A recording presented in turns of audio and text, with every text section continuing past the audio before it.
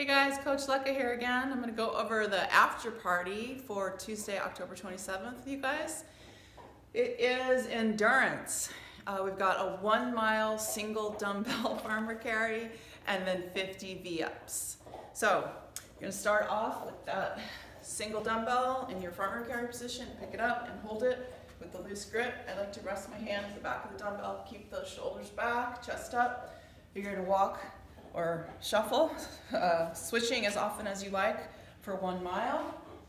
Come back in and perform 50 V-ups. So the V-up, starting on the ground in a nice hollow position. All right, you're gonna go from hollow, snapping up, hollow, snapping up, hollow, snapping up. So we wanna always keep tension, so we don't wanna lose tension and go down flat. We wanna stay in a hollow position and snap up. You can do tuck ups if you want modified, okay?